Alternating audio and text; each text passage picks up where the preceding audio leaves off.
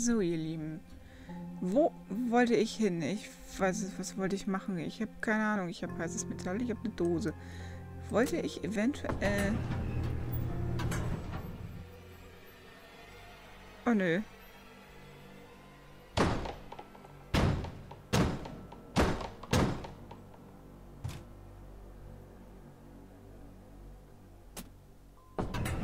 Soweit ich weiß, ist hier nur der Butler. Wer war das also dann? Der Poltergeist war es nicht. Hinter den Türen ist eine Wand. Ich komme wohl in einer anderen Etage. Ich komme wohl in einer anderen Etage nach draußen.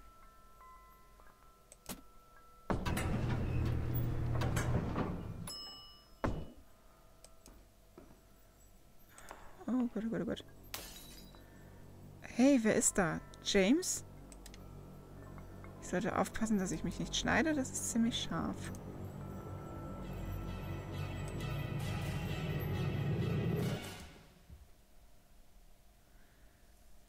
Ich weiß nicht mehr, wo ich hin wollte. Das ist gerade ganz schlimm. Wo wollte ich hin? Was wollte ich machen? Ich weiß es nicht mehr. Mein Butler war also immer ein bisschen überheblich. Ja, das war. So, Ziele. Mach den Schlüssel nach, öffne den Tresor, finde die Kacheln in der Waschküche, finde, beschwöre die Geister von Brenda und Richard. Okay, so viel muss ich also eigentlich gar nicht mehr machen. Ähm.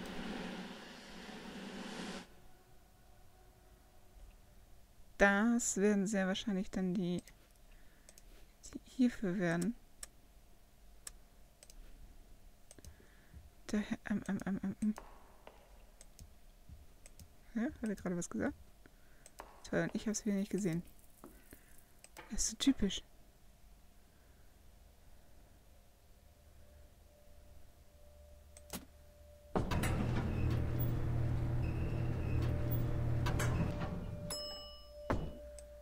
Ach genau, ich wollte, genau, ich war hier oben und da kam ich nicht rüber.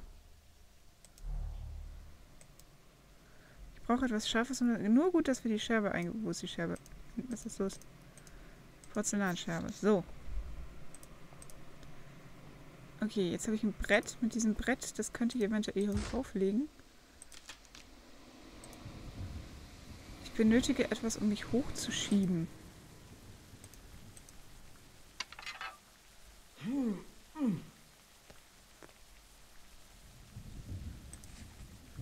Es hätte keinen tragerischeren Zufall geben können, ganz besonders nicht so kurz vor der Hochzeitszeremonie.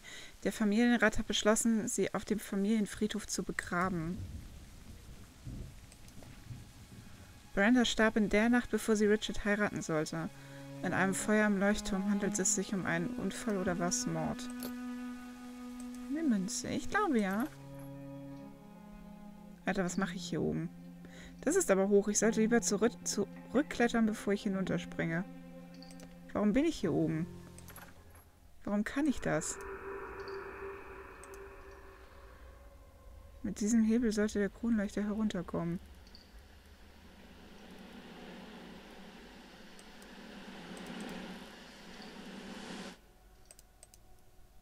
Ich sollte nicht hier sein.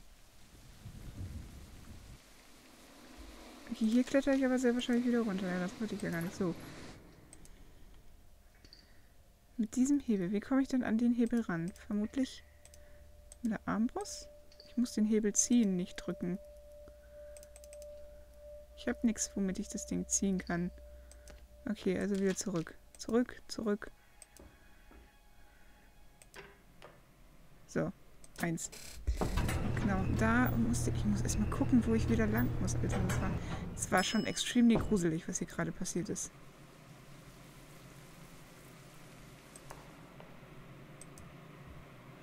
Ach, da komme ich nicht mehr raus, ne?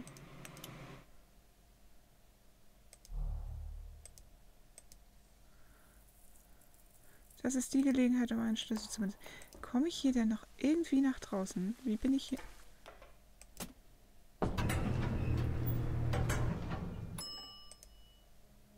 Hinter der Tür ist eine Wand.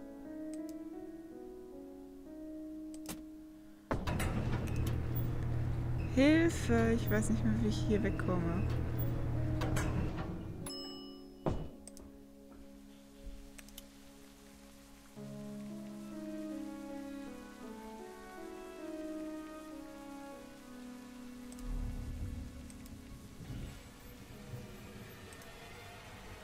Hier scheint jemand die Leuchtturm beobachtet zu haben.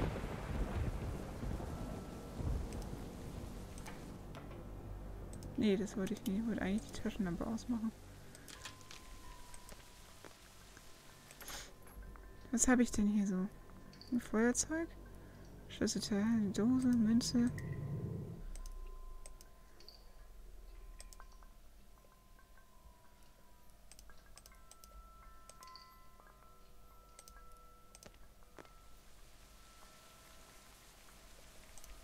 Ich weiß gerade echt nicht, was ich machen soll. Ich, ich habe auch jetzt eine Woche nicht gespielt.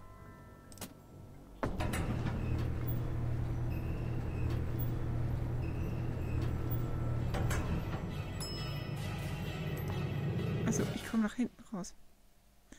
Ja, mhm, okay, geht klar. Entschuldigung. Da stand ich aber mal voll auf dem Schlauch. Es ist mir erst aufgefallen, als ich das Licht gesehen habe. Wo ist sie da? So.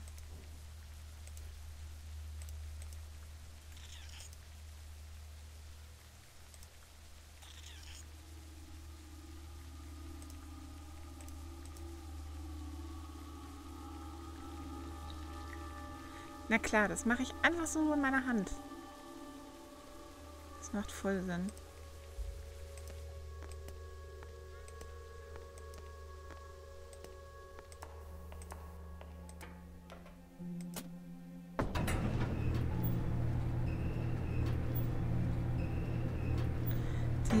Ganze Zeit, ob wieder irgendwas passiert. Ich hasse Fahrstühle.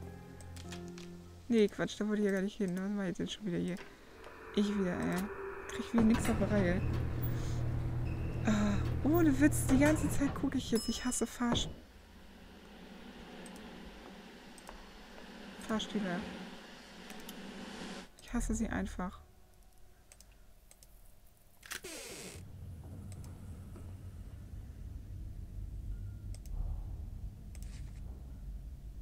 Gästeliste. Die folgenden sind zur Verlobung von Viscount Richard Kendall, Sohn von Lord Henry Kendall und Catherine Seymour, Lady Kendall, eingeladen.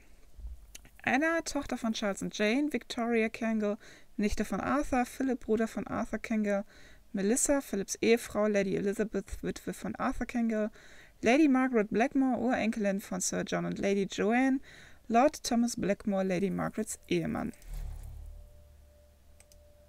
Hier gehört eine Kerze hin. Will ich das? Brenda.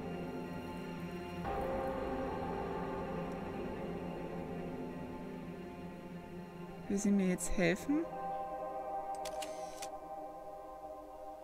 Oh.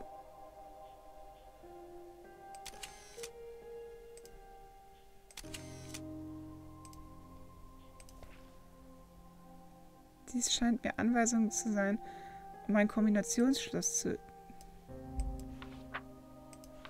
Das ist Brenda. Es war ihr Medaillon, das ich im Spiegelsaal gefunden habe.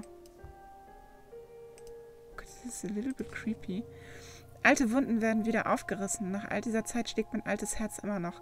Letzte Nacht sah ich Catherine in meinen Träumen. Sie sah mich vorwurfsvoll an. Ich kann den Blick in ihren Augen nicht ertragen. Ich sollte Richard erlauben, Brenda, Brenda zu heiraten, wenn er das wünscht. Das ist, was Catherine gewollt hätte.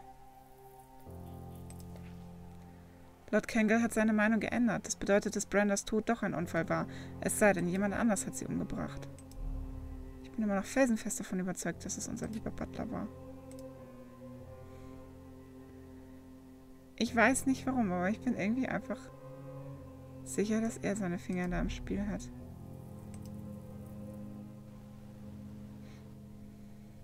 James. Ist nämlich nicht der Nette. Was mache ich denn jetzt mit dem Ding?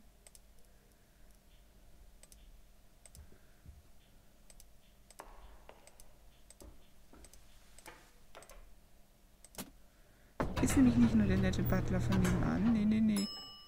Glaube ich gar nicht.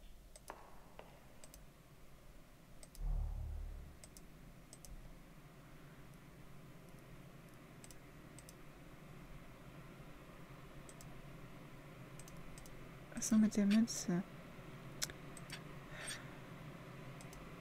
Ja, super.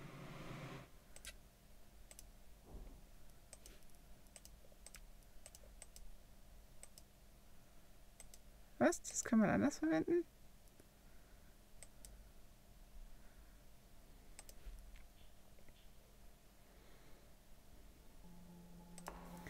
ich das irgendwo waschen könnte, wäre ja recht nett.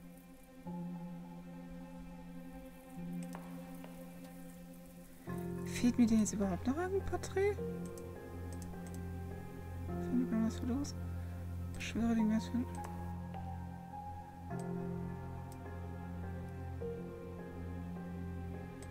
Ich muss das Wachs da irgendwie abkriegen. Aber wie? Dieses Siegelwachs, ne? Ähm... Wie kriege ich das Siegelwachs da jetzt runter? Kann ich das eventuell in der Kerze hier drüben machen? Ne.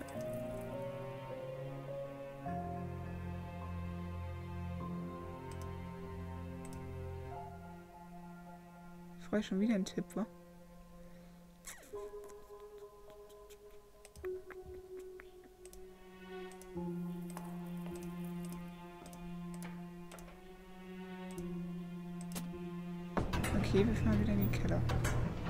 Also werde ich hier wahrscheinlich jetzt raus müssen. Das kann ich nicht mit bloßen Händen auseinanderreißen. Was ist das denn überhaupt? Garn.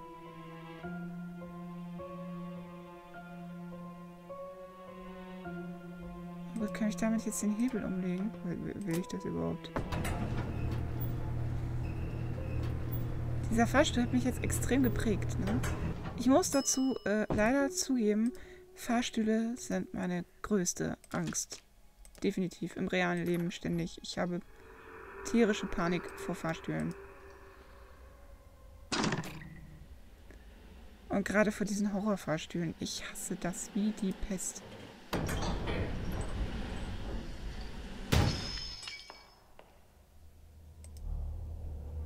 Meine Erinnerungen an dieses Medaillon sind nicht gerade die besten und ich glaube nicht, dass mein Butler mir noch einmal zu Hilfe eilen wird. Ganz ehrlich, den braucht gerade keine Sau, den Kerl. Ein leerer Benzinkanister, damit scheint ein Feuer gelegt worden zu sein, aber mein Poltergeist braucht sicher kein Benzin, um Feuer und Flamme zu werden. Hier gehört ein kleiner Schlüssel hinein, aber das Schlüsselloch ist versperrt. Okay, das werde ich also nochmal brauchen.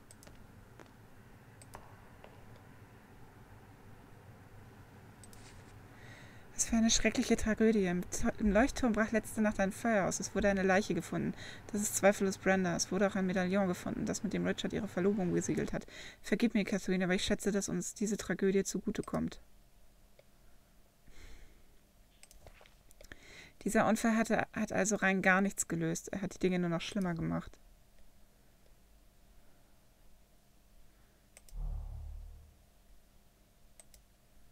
Abgeschlossen. Warum sollte mein Butler mich hier hinausziehen und dann die Tür abschließen? Nice question.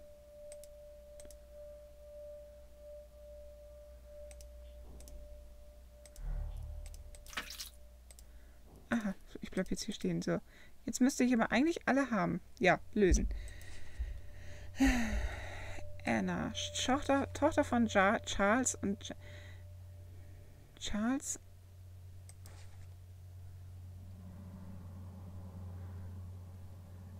Sir John und Lady Joan. So.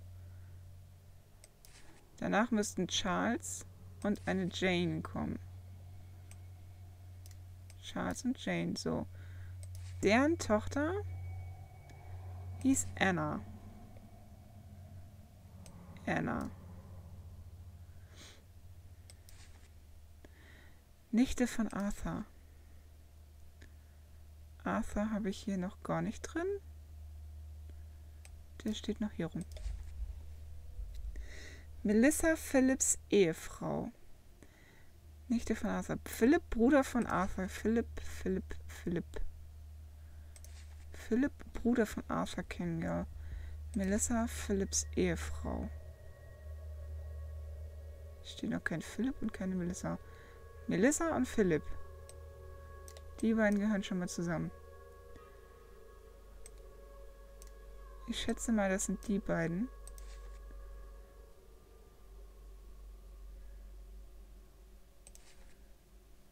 Dann kommt hier ein, ein Arthur hin.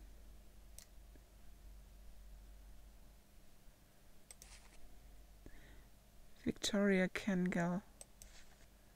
Victoria Kengel. Das kann ja nicht sein. Anna kann ich auch rausnehmen. Dann müssten die beiden nämlich hier hingehören. Was aber nicht sein kann. Anna, Tochter von Charles und Jane.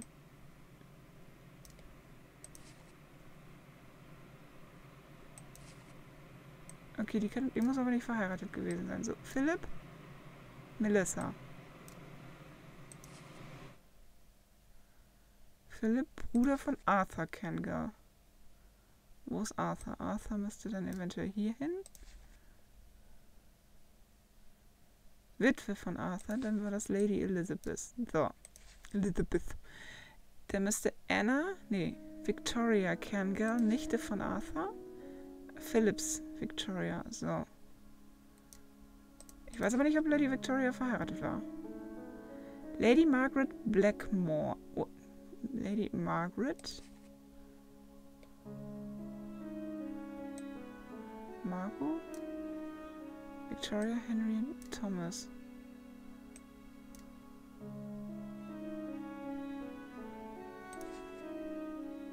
Margot ist dann wahrscheinlich Margaret.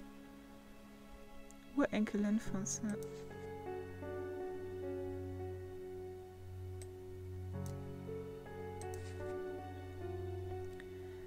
Lord Thomas Blackmore, Ladies Margarets Ehemann.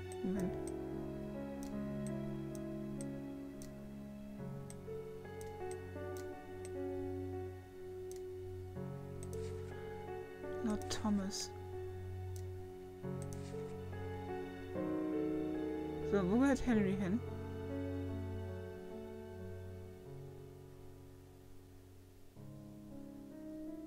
So, von Catherine Seymour. Moment, da muss...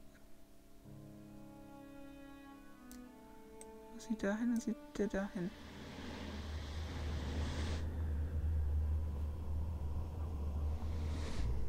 Aha, okay, das habe ich gelöst. Ich habe gelöst. Ich habe es gelöst, ich habe es gelöst, ich habe es gelöst. So, dann muss ich jetzt dahin. Ich habe es gelöst. Da ich glaube, dass das Spiel nicht mehr sehr lange geht, werde ich jetzt auch quasi die finale Runde aufnehmen und jetzt nicht mehr. So. 2, 6, 8, 5, 3. 2, 6, 8, 5, 3. Na.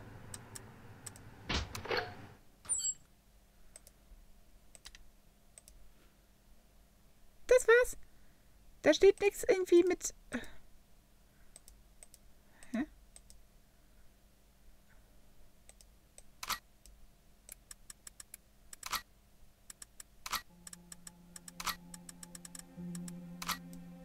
Also, Moment. Ah! Okay, Moment, Moment, Moment. Die Taschen. Ja, ich mach's hier schnell. Eins,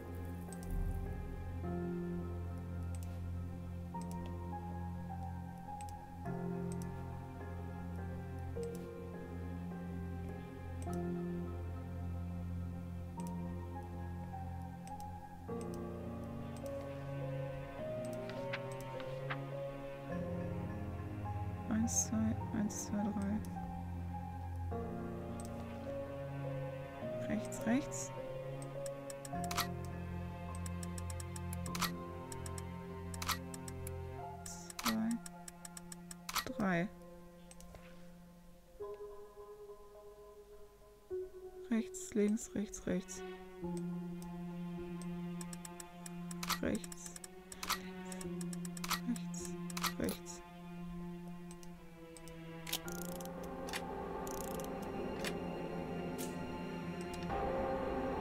Der zweite Ring. Ich hoffe wirklich, dass dieses Ritual funktioniert.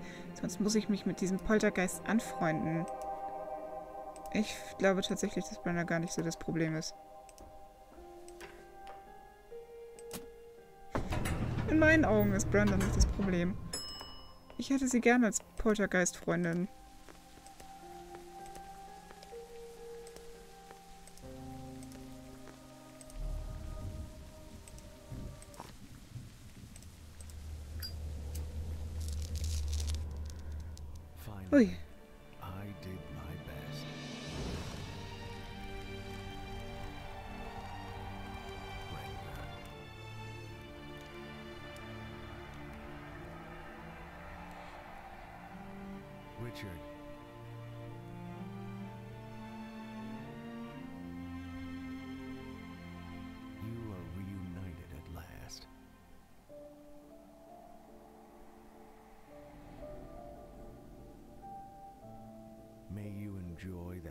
Happiness and love that has been denied you all these years.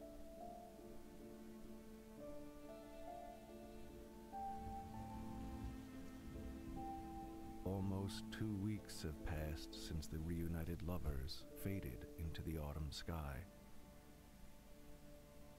But my mind remains unsettled. It's not that I'm not happy for them. I am. But the circumstances of Brenda's death are still a mystery. What? What? What, is it? Did I do something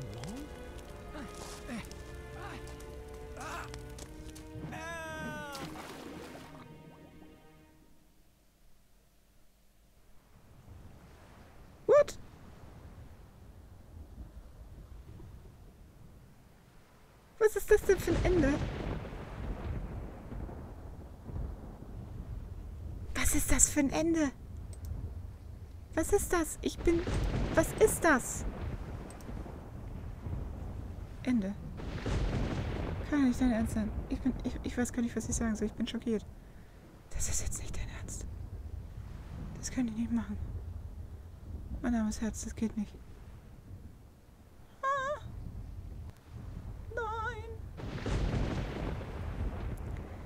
Also wie es aussieht, ist das jetzt das Ende.